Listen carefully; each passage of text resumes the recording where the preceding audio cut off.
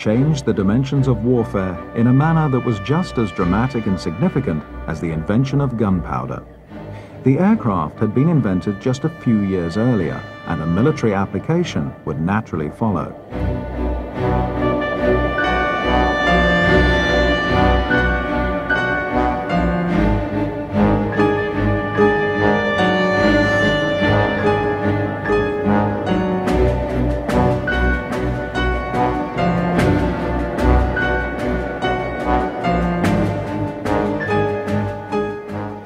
Plane's importance from 1914 to 1918 has often been discussed with opinions very divided. But whichever argument applies, post-war military tacticians rarely doubted the importance of air superiority in any armed conflict.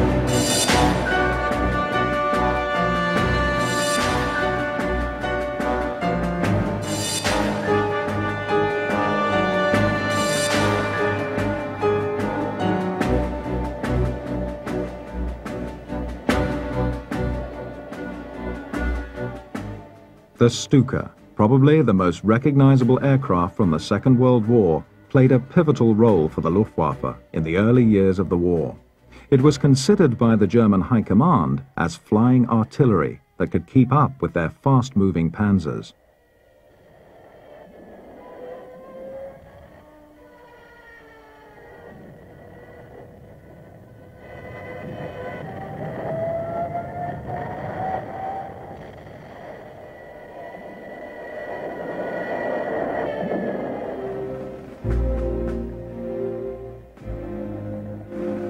The Stuka was designed in 1934, and the first prototype flew the following year, and it had its combat baptism during the Spanish Civil War.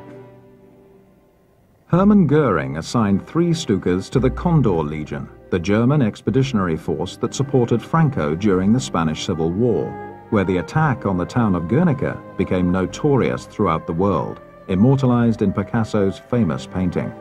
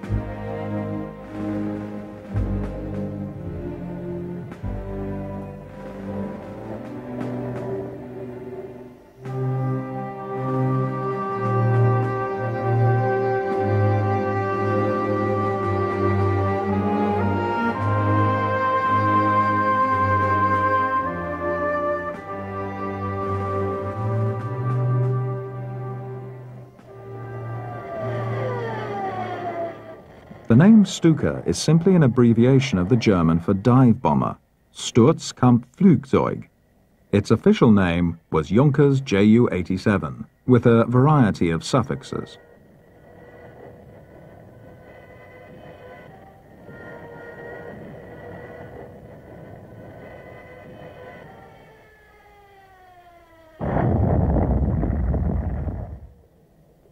By 1939, the manufacturers had stepped up the production to 60 per month, and the Luftwaffe had 336 Ju-87B1 in service when war broke out. Though the Stuka continued being made throughout most of the war, and in total more than 4,000 were built, there were never more than 400 in service at any time.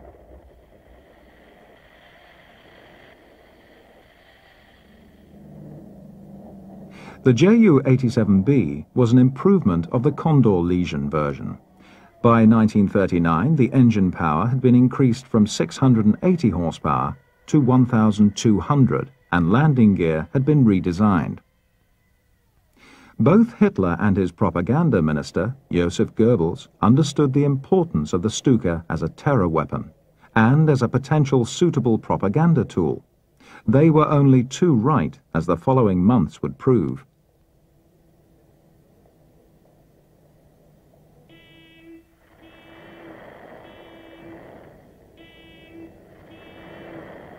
When Hitler and his generals were planning Fall Weiss, Operation White, the attack on Poland during the summer of 1939, the Stuka was very much part of the strategy they intended to employ.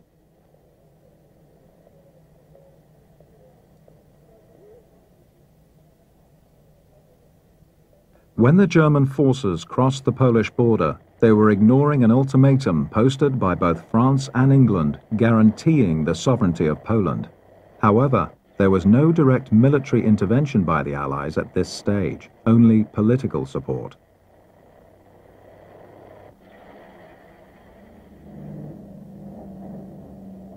And now, ladies and gentlemen, here is a recorded message from the Prime Minister, the Right Honourable Neville Chamberlain. I am speaking to you in the Cabinet Room at 10 Downing Street.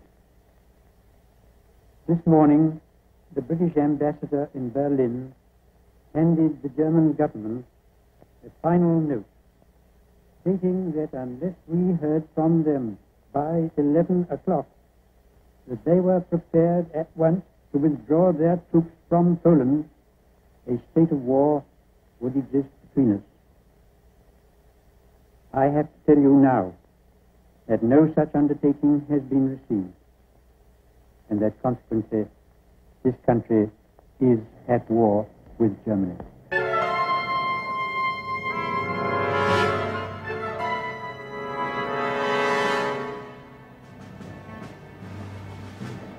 The declaration of war does not stop the German war machine. It is unstoppable. And this is the first time the world witnesses blitzkrieg in all its devastating power.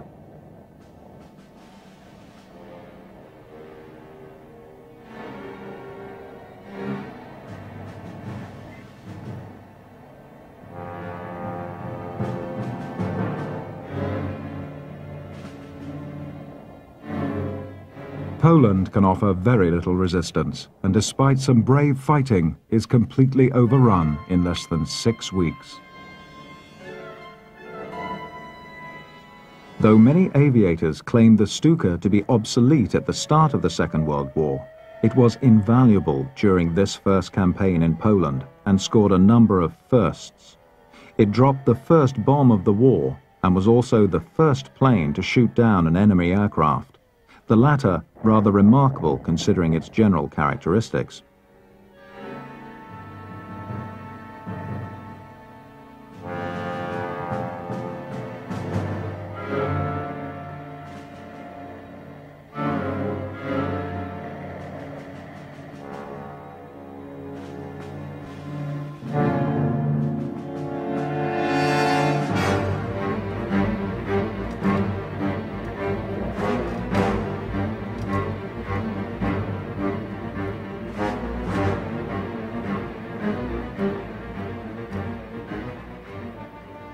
Originally been a fair amount of opposition to the Stuka, but their success in Spain had persuaded many, including Commander Wolfram von Richthofen.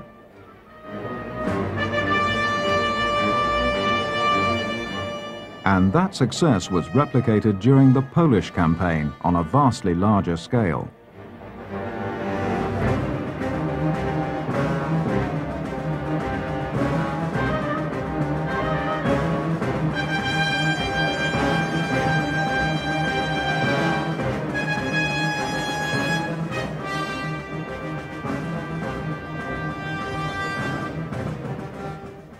The destruction of Poland was then achieved by the efficient cooperation between the fast-moving Panzer and the Stuka squadrons. And much of the credit for this must go to the Luftwaffe's Director of Armament, Ernest Udet, who introduced the dive bomber concept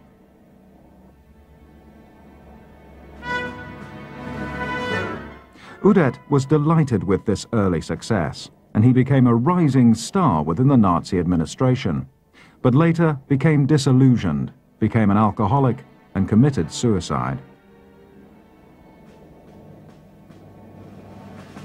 Hermann Goering, never one to miss a photo opportunity, personally decorated Army and Luftwaffe personnel after the Polish campaign. And there's little doubt that this would also become part of the continued German propaganda drive. Propaganda had been central to the National Socialists from even before they came to power in 1933. The Stukas could be used within the same vein as burning of the Reichstag and the propaganda films of the day.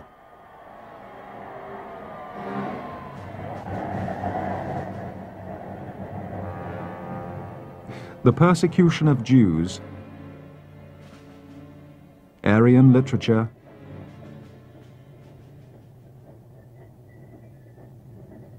Goebbels' personal, clever and vitriolic broadcasts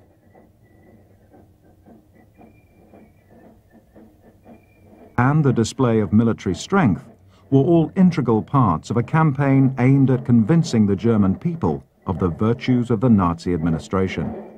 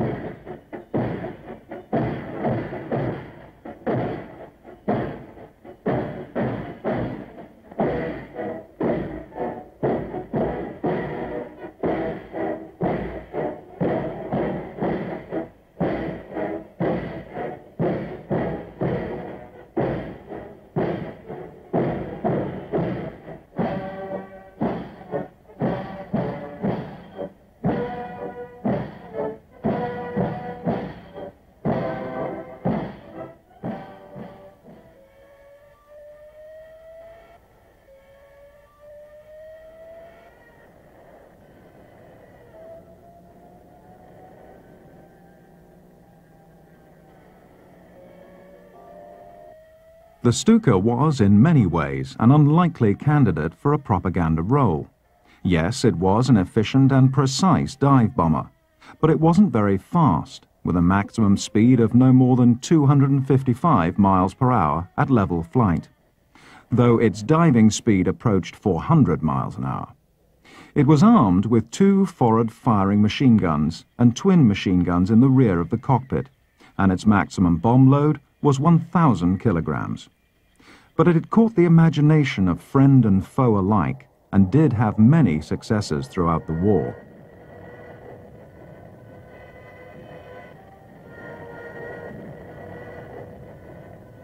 It was, no doubt, the sudden appearance and the howling noise emitted by the Stuka when diving that helped build its reputation.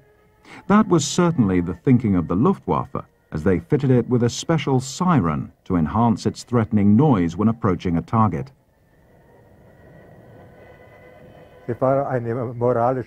The Stuka provoked a psychological effect in people. Because of the siren, people would stay in their shelters for hours and would not come out. We couldn't believe that the siren would have such a strong impact.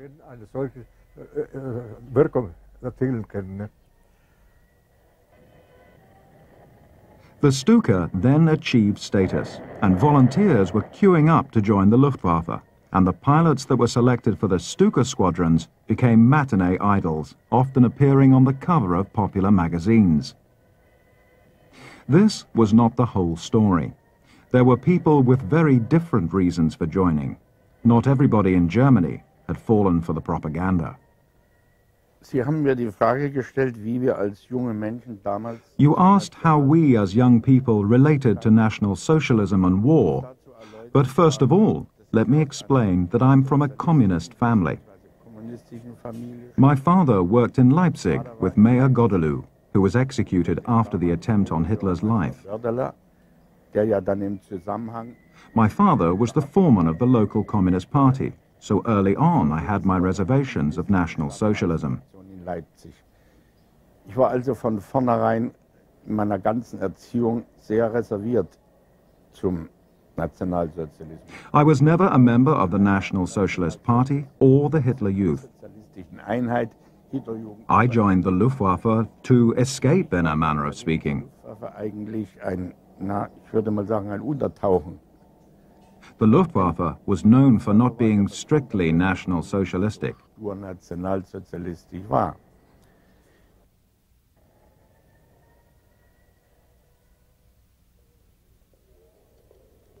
The success in Poland was not immediately followed by further expansions, but Hitler and his high command were planning their next moves, and the Stuka was also being prepared for further action with a number of improvements. Improved vision for rear gunner. Stronger engine. Redesigned landing gear and enlarged fin and rudder.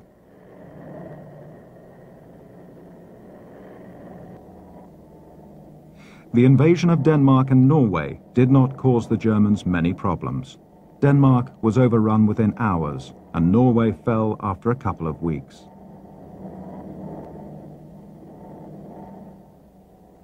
The Stuka still had work to do dealing with the British Navy, trying to come to the rescue of the Norwegians, and actually succeeding in landing a force in Narvik in the north of the country.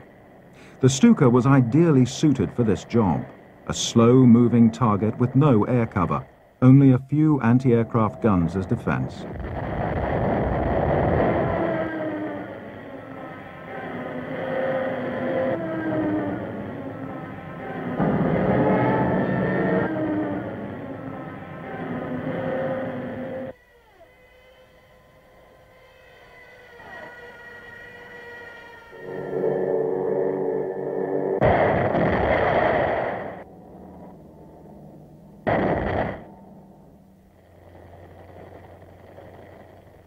Now, a new and more demanding front was to be opened.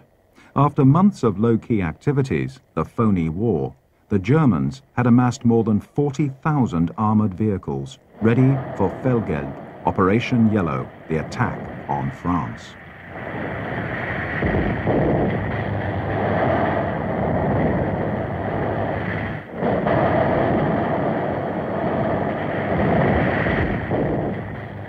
The lessons learnt in Poland were improved upon and implemented during this massive campaign against France, Belgium and Holland.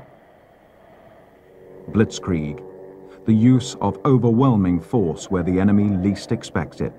This was most certainly Blitzkrieg. Supported by Stukas, the German panzer bypassed the Maginot Line and forced their way through the Ardennes in less than three days considered impossible by Allied military experts. The Germans had achieved air superiority, which didn't only give their dive bombers a free range, but allowed them to bring reinforcements up to the front by plane, enabling them to secure areas overrun by their panzers.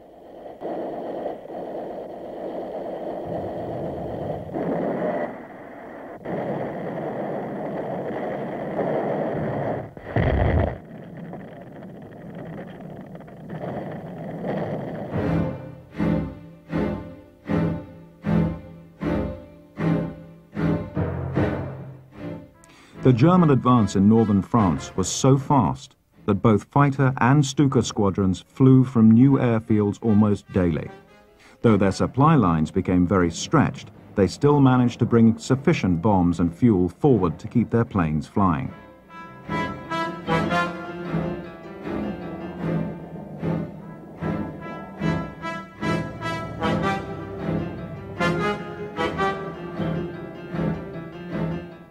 While these Stuka pilots synchronize watches for yet another sortie, the British expeditionary forces are being hailed by the local French population. But they are not to be the rescuers of France.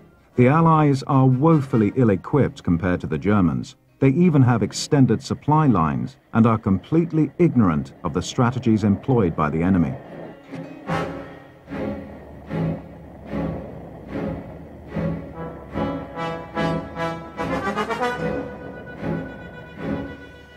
Radio communication between panzers and Stukas makes coordination of the use of either weapon swift and efficient, enabling the Germans to strike where the Allies are most vulnerable.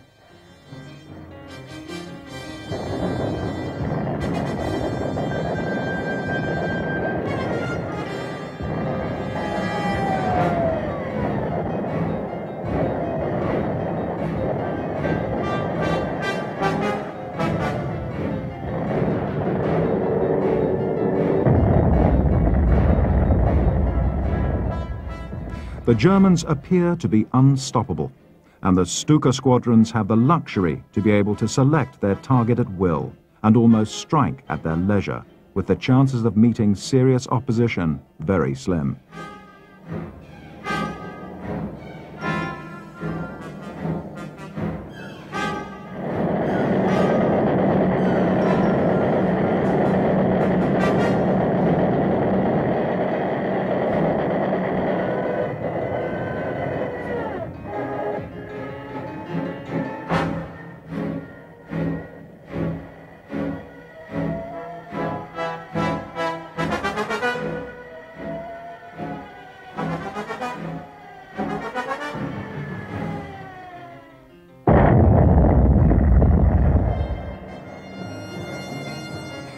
Targets for Stukas and conventional bombers had, so far, been military. But somebody with not too many scruples thought up an idea that would change that. The plan was to let conventional bombers bomb a town situated near to or on a main road. This action would then force the population out of their houses to the road in order to escape. A Stuka plane would then strafe the people, forcing them to move in a direction already chosen by the Germans. In the same manner, any side road would be closed to the refugees. The result was that a mass of people could be made to block a selected road and make passage for Allied troops at least slow and cumbersome, or at best impossible. Maybe not particularly humanitarian, but very effective.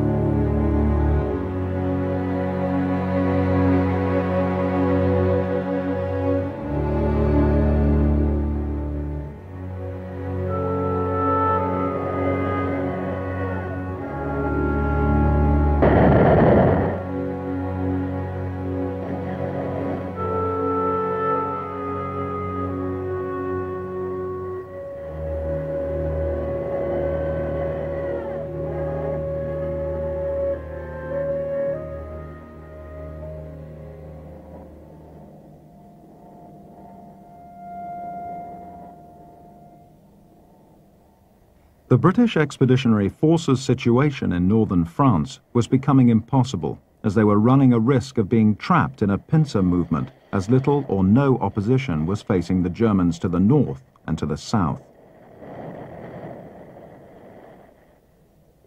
Hermann Goering, still flushed with recent success, promises Hitler that his Luftwaffe will finish off the British, stressing that the Royal Navy won't pose a major problem for his aircraft.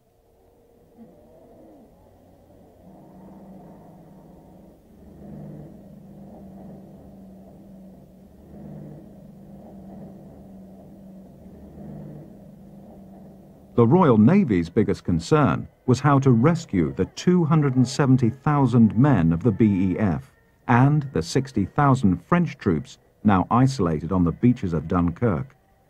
The main German forces were still some miles away, and it was very much left to the Luftwaffe to try and prevent the evacuation.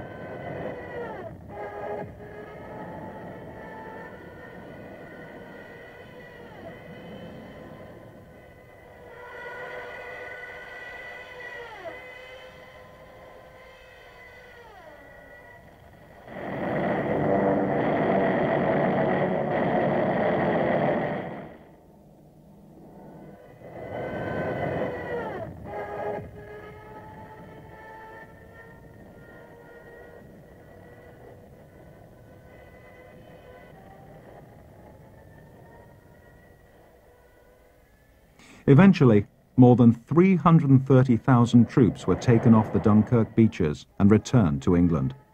It was a massive effort involving the Royal Navy and scores of assorted ships and boats from fishing vessels to private yachts.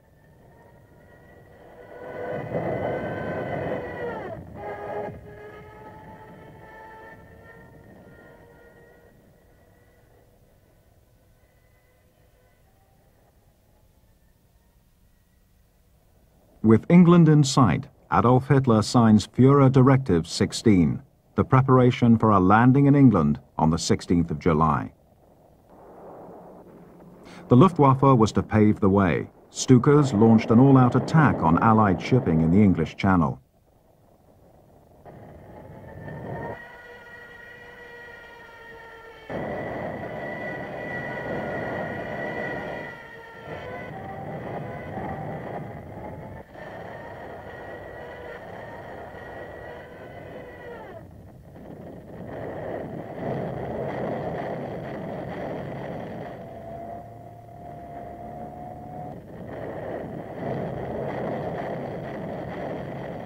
This campaign proved so successful that the Royal Navy had to keep their destroyers in port during daylight hours. But however unlikely it might have appeared at the time, this was the Stuka's last big operational success on the Western Front.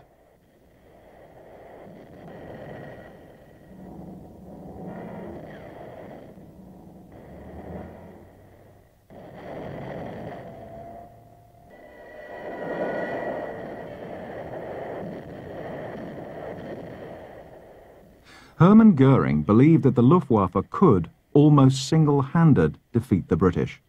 His trust in the capabilities of the Stuka made him make a significant error of judgment. He decided to deploy this decidedly tactical weapon strategically, sending them against targets in England itself.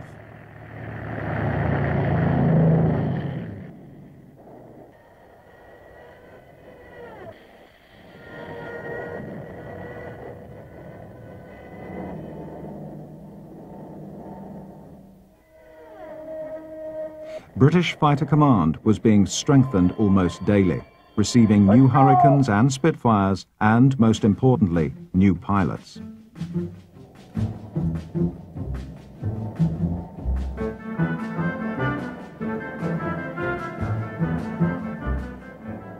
Comparing the Stuka with its main opposition, the Hawker Hurricane and the Spitfire, may explain what was to follow.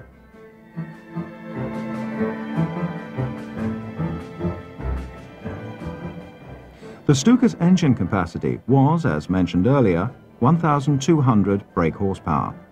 The Hurricane and the Spitfire were equipped respectively with 1,050 brake horsepower and 1,175 brake horsepower engines. But the weight difference was significant. The Stuka weighed in at 6,600 kilograms, whilst the Hurricane and the Spitfire both scaled less than 3,000 kilograms. The maximum speed of the Stuka was approximately 410 kilometers per hour. The Hurricane could exceed 520 kilometers per hour, whilst the current version of the Spitfire topped 575 kilometers per hour. The Stuka was armed with four 7.92 machine guns, the Hurricane with eight 0.303 caliber machine guns, as was the Spitfire.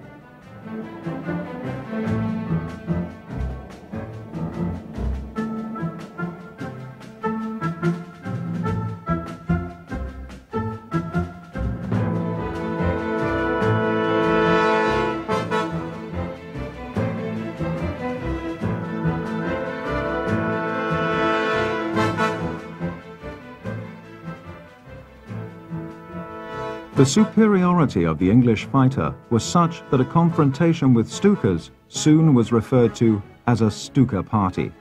Stuka commanders soon realized that they had to stay in close formation to have a chance of survival. The important thing was to keep formation. This way we could use the machine guns better. But then the English would pick one out of the pack and the pilots were quite scared because the Spitfire was fast. Die war schnell.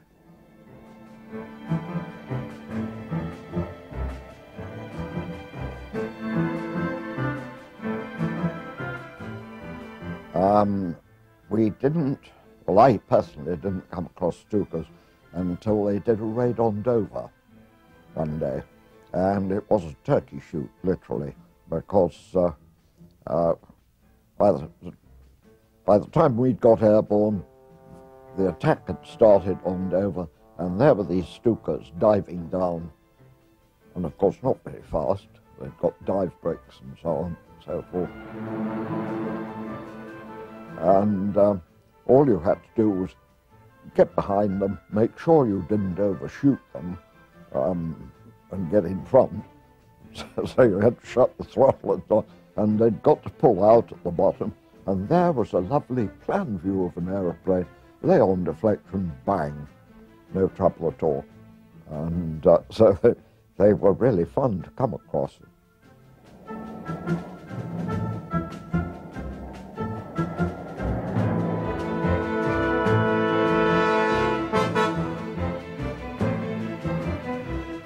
Yes, we had a we had a big day on, on Dover. We clobbered quite a lot of them.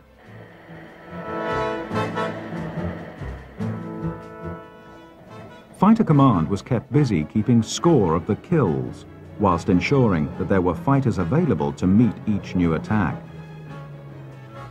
The fighters would generally attack the Stukas from above and behind, so communication between rear gunner and pilot was important if avoiding action had to be taken. But this was primitive. Ja, man natürlich verständigen und of course, we had to communicate, and the noise was too loud to shout. So we used an Etch-a-Sketch pad to write what was going on, whatever it might be. A fighter coming from behind. You quickly wrote it down and passed it to the pilot, who would write something to me, and that way we could understand each other.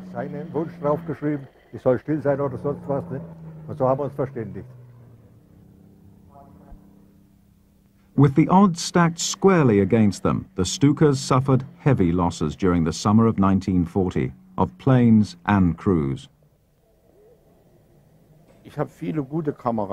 I lost several good friends, but in the evening we would all sit together and have a glass of wine, and the next day we would go up and do the same again.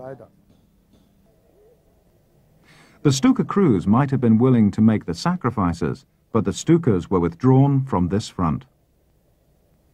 The respect for the Stuka by Allied pilots was now at an all-time low. The world often says that the Stuka was the finest dive bomber ever built.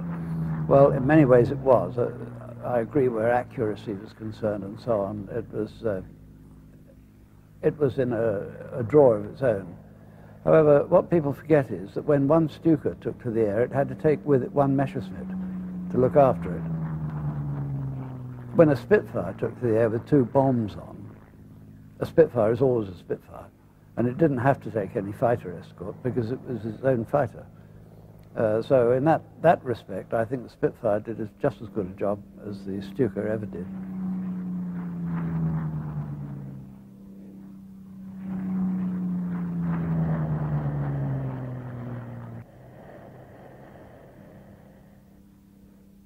When the Stuka was deployed in North Africa and in the Mediterranean in 1941-42, a few changes were made to suit the new environment. It was, amongst other things, given a new livery and sand filters were fitted.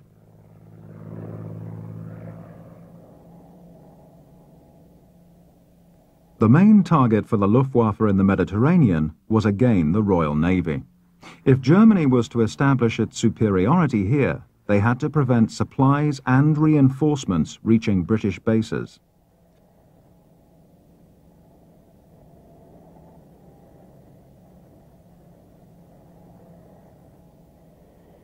The Stukas that took to the air from airfields in Sicily and North Africa were now officially outmoded and were supposed to have been phased out in early 1941. But there wasn't any realistic replacement and they continued to be built throughout the war. The Allies did have some fighter cover, but not nearly enough, and the Stukas rarely had problems getting through to their targets, and they inflicted quite heavy casualties on the Allied naval vessels in the area.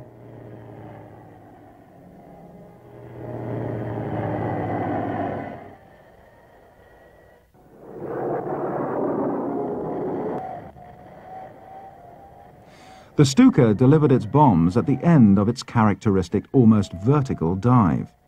The pilots had to be very fit. Indeed, they often passed out and had to rely on the automatic pull-out system installed. Yes, it was a tremendous stress on the body. You could, for example, not fly when you had a cold. When the aircraft was flying level, it was relatively slow, 230, 240. But when diving, the speed was tremendous. The face first stretches and then the body is compressed. The head would be all over the place. Und das muss man erstmal verstehen, muss gesund sein, wenn man das macht. Ne? But the automatic pull-out did fail, and it was up to the pilot to function under this extreme stress on the body. Ja, das war natürlich äh, gefährlich. Some pilots lost their concentration, and when they tried to pull their plane out of a dive, it was too late. Da musste er von eigener Kraft das Flugzeug hochreißen. Ne?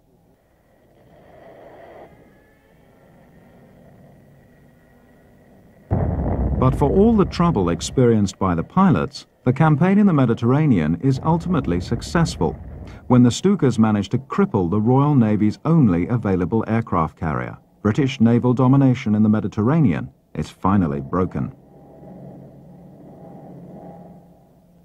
The Germans had not only broken Allied naval domination, but had also achieved air superiority, allowing an unhindered reinforcement of Axis powers in North Africa by the airlift of the first units of Rommel's Afrika Korps to Tripoli.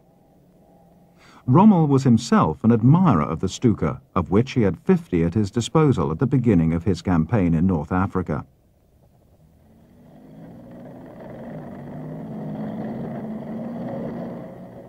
Rommel's Stukas were not only deployed in the more traditional manner against Allied ground forces, transport columns, tanks and airfields, but were quite innovatively used to clear minefields in front of moving panzers.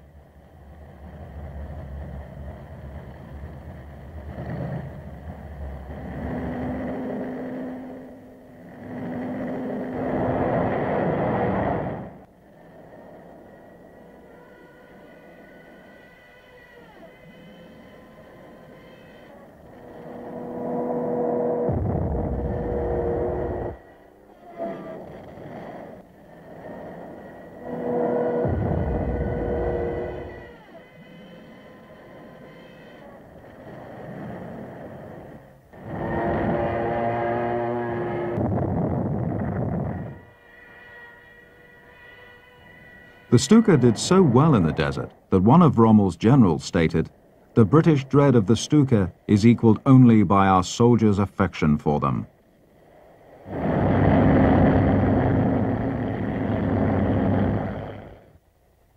Rommel's opposite number, Montgomery, was well aware of the threat of the German Stukas to his Seventh Army, the Desert Rats, and realized that the German success in the air had to be curtailed. And the arrival of Hurricane and Spitfire squadrons in the North African theatre helped to swing the balance in the Allies' favor.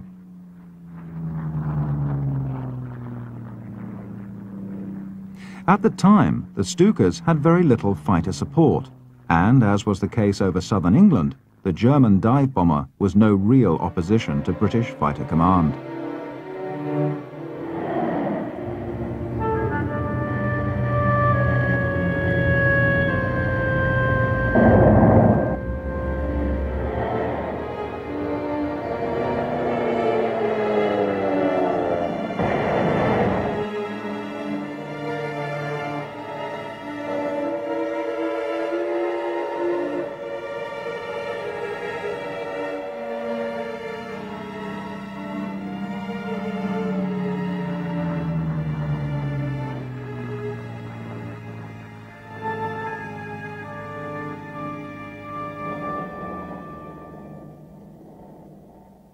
The Stuka Squadron's next major operational theatres were Greece,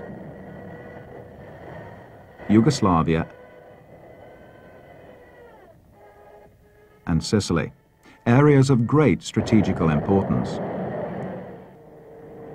Later, Stukas played an important role at Anzio, attacking Allied naval forces, a task that, as we've seen earlier, they were particularly suited for.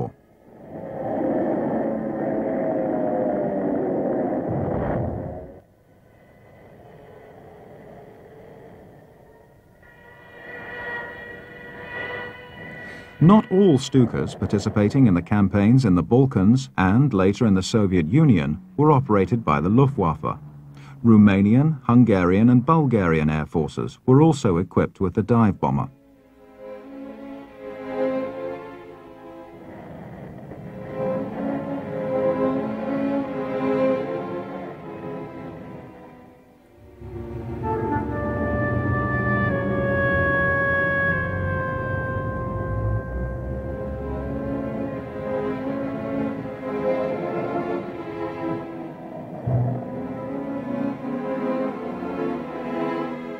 The Ju-87B2 was one of the first Stukas to see action on the Eastern Front and was mainly used to destroy earthbound Soviet aircraft.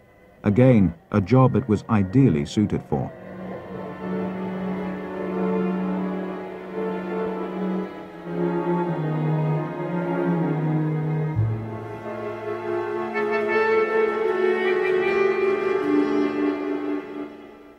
Having partially crippled the Soviet Air Force, the road was open to the German Panzer. This was a time when the German war machine appeared almost unstoppable.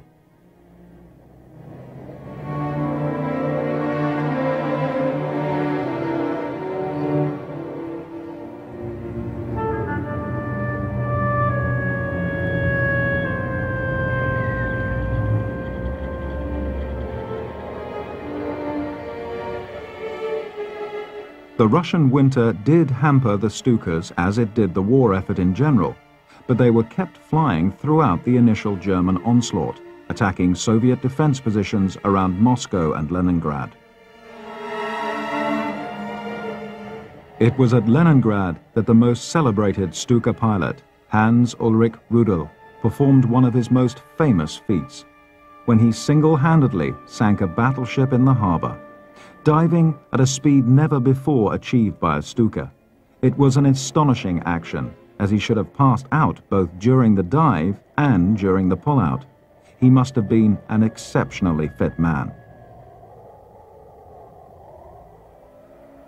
When Soviet determination and the Russian winter were turning the tide, Goering's Luftwaffe came up with the Stuka tank buster, fitting the aircraft with a special 37mm cannon designed to penetrate the Soviet armor. During Operation Citadel, the code name for the battle at Kursk, the biggest tank battle in history, the Stuka was deployed almost exclusively as an anti-tank weapon, and with a great deal of success. Rudel again excelled when he, in a single action, knocked out 12 Soviet T-34 tanks.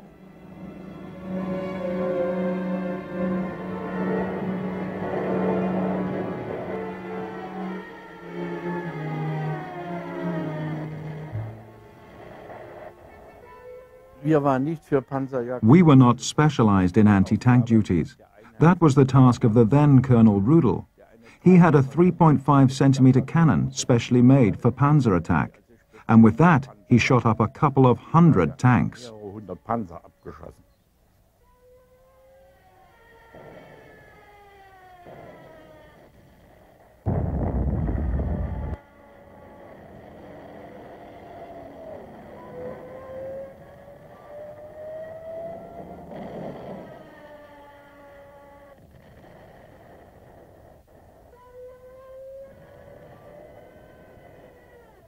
Hans Ulrich Rudel had indeed become a German hero, idolized by the party and the public alike. Hundreds of victories to his name, and surviving being shot down more than 30 times. No wonder he became a myth. And Rudel was an idol for us young people. I can still remember clearly the day when Rudel came to tank up his plane, and then he came into our tent. Our boss, an Oberleutnant, stood to attention and said that he would get him something to eat. After the Oberleutnant had left, Rudel turned to us and said, Haven't you got anything? As he took the lid from a pot and had some tepid pea soup. He took my spoon and wiped it on his trouser bottom once. After he left, we thought that he was a real guy, a pal. Gegessen. Und als der Rudel dann wieder weg war, was haben wir natürlich gesagt, als junge Kerle, 23 Jahre, das ist ein richtiger Kumpel. So war Rudel. Though not everybody had the same opinion. Rudel was, when we got him and brought him over here, he was wounded. Um, he had his left knee bound in a rather bloody bandage and he'd got crutches. He was arrogant. Um, he had so many decorations that, as uh, Bob Braham, our great night fighter race, said, if he fell in the sea, he'd go straight to the bottom with the weight of. um, he said to us, um, give me a Spitfire and um, put your two finest fighter pilots at 2,000 feet over the airfield. I will take off, shoot them both down, and go home to Germany. That was his arrogance. And he was Stuka pilot. Whatever was the individual opinion of an individual pilot, the Stuka had made its indelible mark on the Second World War from the attack on Poland to the skies above northern France and Dunkirk, to North Africa and through to the Eastern Front.